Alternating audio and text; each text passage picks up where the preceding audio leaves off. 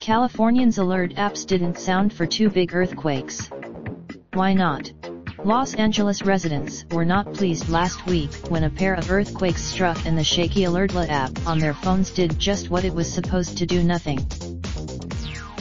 The app, after more than a year of development, is intended to give at least a few precious seconds of notice before dangerous shaking from an earthquake. But users didn't, how is the app supposed to work?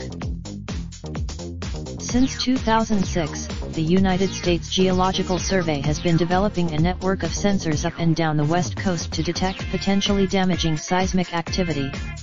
The ShakeAlert earthquake. Earthquake. How much warning users get depends on how far they happen to be from the epicenter of the quake.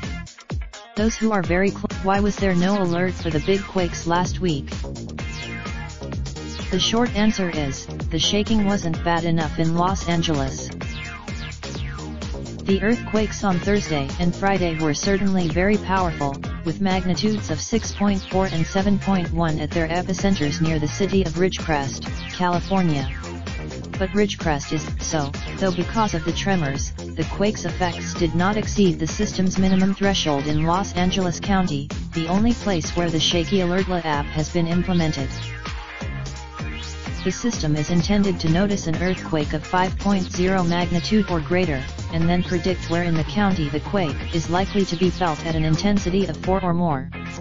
Alerts are sent at that intensity, which is then magnitude, cars will rock, dishes will rattle and people will feel the earthquake indoors you and may even be roused from sleep. The system did not issue alerts because, immediately after the quakes struck, it predicted that they would not exceed the intensity threshold anywhere in the county. As it turned out, what is changing now? In response to complaints, the city and the creators of the app announced that they were to increase the app's sensitivity. We hear you, and will lower the alert threshold with that USGS ShakeAlert, the city of Los Angeles wrote on Twitter after the first earthquake on Thursday.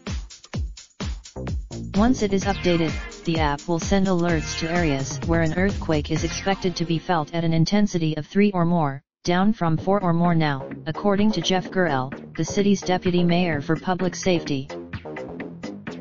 Los Angeles officials expect the new lower threshold to be in place by the end of July. If it had been in effect, officials are also discussing lowering the app's magnitude threshold. Mr. Gorell said the move was in response to public concerns after last week's earthquakes, when some users said they wanted to be alerted in advance of any significant shaking. We don't want to have alert fatigue, but we also don't want people to delete the app or for the public to turn against the app, he said.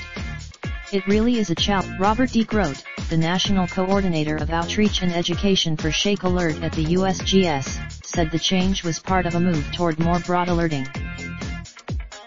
Los Angeles and USGS officials said they realized that users grew concerned when they felt the Earth move without receiving the warnings they expected. Practicing drop, cover and hold on is actually a good thing, but there also can be a level of annoyance, so we need to strike that balance, Mr. de Groot said.